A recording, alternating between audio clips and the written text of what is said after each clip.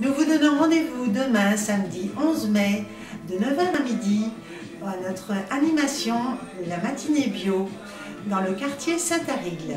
Il y aura des dégustations faites par notre chef Bochetti des Toques Nivernaises avec tous les produits bio de notre quartier ainsi que de nombreuses animations. À demain